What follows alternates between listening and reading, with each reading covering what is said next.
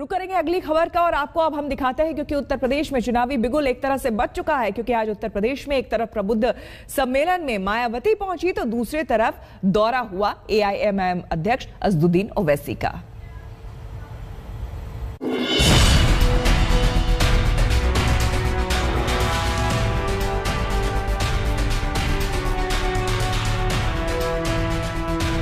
हमारी पार्टी को यह आगामी विधानसभा चुनाव में सन 2007 की तरह अपने पूर्ण बहुमत की सरकार बनाने से कोई भी ताकत रोक नहीं सकती है।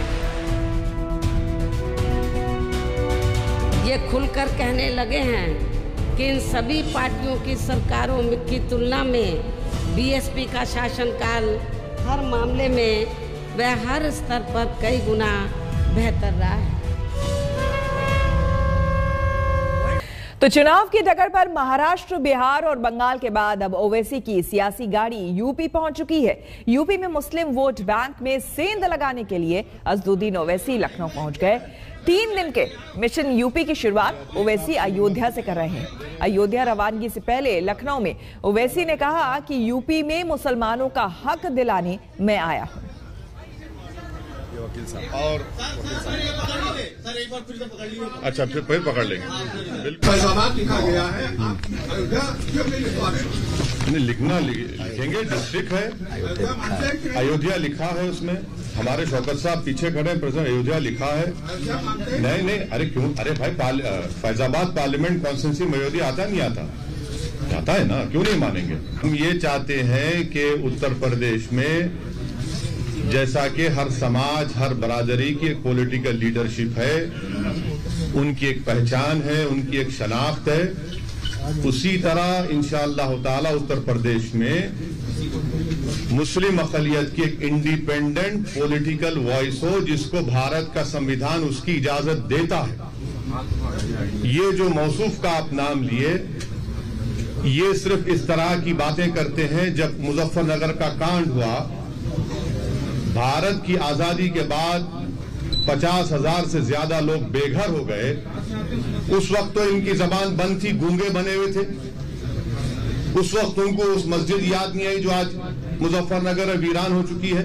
हमारे उत्तर प्रदेश के प्रेसिडेंट जनाब शौकत साहब ने पहले ही आप लोगों को बताया है कि हम लोग आने वाले विधानसभा में 100 सीट पर लड़ने की पूरी तैयारी कर रहे हैं। हम हम, हम उनके साथ हैं और एक पिछले बार टीवी कॉन्क्लेव हुआ था यही लखनऊ में हमारी उनसे बातचीत भी हुई है। और इंशाल्लाह सितंबर में हमारी दोबारा उनसे मुलाकात होगी। नहीं अभी तो वो, प्रस्ताव कहाँ दिए? हम आप लोगों ने हम सुने हम आपने हमसे पूछा था कि क्या आप इनसे अलायंस करेंगे? हमने कहा तैयार है। आप पूछिए उनसे, वो तैयार है नहीं। है अब लैला की दुश्मनी में तो करते हैं ना पूरे मजनू तो इनको लगता है कि सपा को या जो भी बीएसपी अगर एक ऐसा हमको अनटचेबल बनाना चाहती है तो हमको कोई एतराज़ नहीं है। परेशानी इनको इस बात की है कि जब हम ये कहते हैं कि 19 परसेंट मुसलमान, और आप एम वाई कॉम्बिनेशन की बात करते हैं, आप 11 परसेंट और 19 परसेंट गुलामी आपकी करते रहे, आपकी जय जयकार करते रहे, आपको मुख्यमंत्री बनाए, आपको वोट दे। और आप हिस्सेदारी की जब बात होती है तो बात ही नहीं करते आप। उत्तर प्रदेश में 37 परसेंट जो बीजेपी के एमएलए हैं, उनके खिलाफ क्रिमिनल चार्जेस हैं। बीजेपी में जो 116 एमपी हैं, उनके खिलाफ क्रिमिनल चार्जेस हैं। ये जिस किसी पॉलिटिशियन का नाम प्रज्ञा होगा, अजय होगा, कुलदीप होगा, संगीत होगा, सुरेश होगा, कपिल होगा, वो लोकप्रिय नेता होगा। और जिसका नाम अतीक होगा, जिसका नाम शहाब होगा, जिसका नाम मुख्तार होगा, वो बाहुबली हो जाएगा। ये ये रियलिटी है। इसको आप आप इनकार नहीं कर सकते। और अगर अतीक अहमद मुजफ्फरनगर कांड से पहले अगर कोई प्रोवोकेटिव स्पीच देते और गोरखपुर में कोई और भाषण दे देते और उसके बाद गड़बड़ हो जाती तो हो सकता या फिर उनका उस समाज से ताल्लुक होता जिसके पास सत्ता है तो यकीनन उनके खिलाफ भी केसेस विड्रा हो जाते। हम लड़ेंगे इलेक्शन हम किसी के गुलाम नहीं है, जर खरीद गुलाम नहीं है कि उनको जिताएँगे हम बहुत। साठ साल से सबको जिता रहे हम जीतेंगे इंशाल्लाह। उत्तर प्रदेश का मुसलमान जीतेगा। कब तक कब तक कब तक हम इनको खंडों में बिठाकर कभी अपना बेटा बनाकर कभी अपना भैया बनाकर कभी अपना नेता बनाकर कब तक इन लोगों को जिताते रहेंगे? हम क्या कोई खैदी हैं? अब हम वोट डालेंगे हम जीतेंगे। संविधान में उनको इजाज़त है और इसमें पेट में दर्द क्यों हो रहा है? उत्तर प्रदेश के चुनावी समर में सियासी दलों की नज़र ब्राह्मण वोट बैंक पर टिकी हुई है।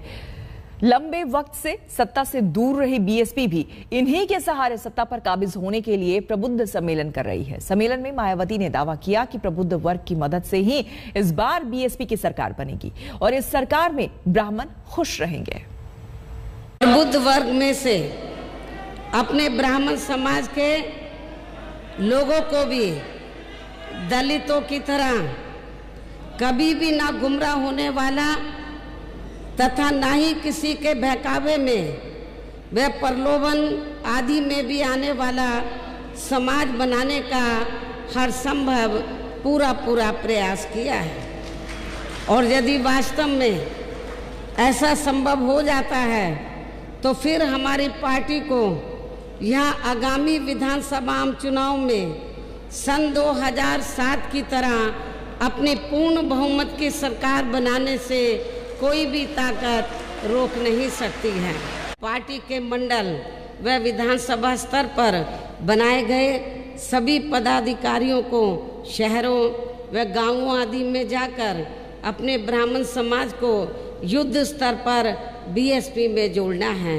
अर्थात अब इन्हें भी हर स्तर पर पार्टी को सहयोग देकर फिर से यहाँ सन 2007 की तरह ही बीएसपी की पूर्ण बहुमत की सरकार बनाना है। इसके साथ ही अब इनको दूसरे चरण के तहत प्रत्येक विधानसभा के शहरों, कस्बों व गाँवों आदि में जाकर पहले अपने विशेषकर ब्राह्मण समाज के कम से कम एक हज़ार सक्रिय कार्यकर्ता तैयार करना है प्रत्येक विधानसभा में। तथा इन्हें बीएसपी का सदस्य भी ज़रूर बनाना है। साथ ही इनकी सूची भी तैयार करनी है। और सबसे और सबसे पहले इनको रिज़र्व सीटों पर ये कार्य करना है।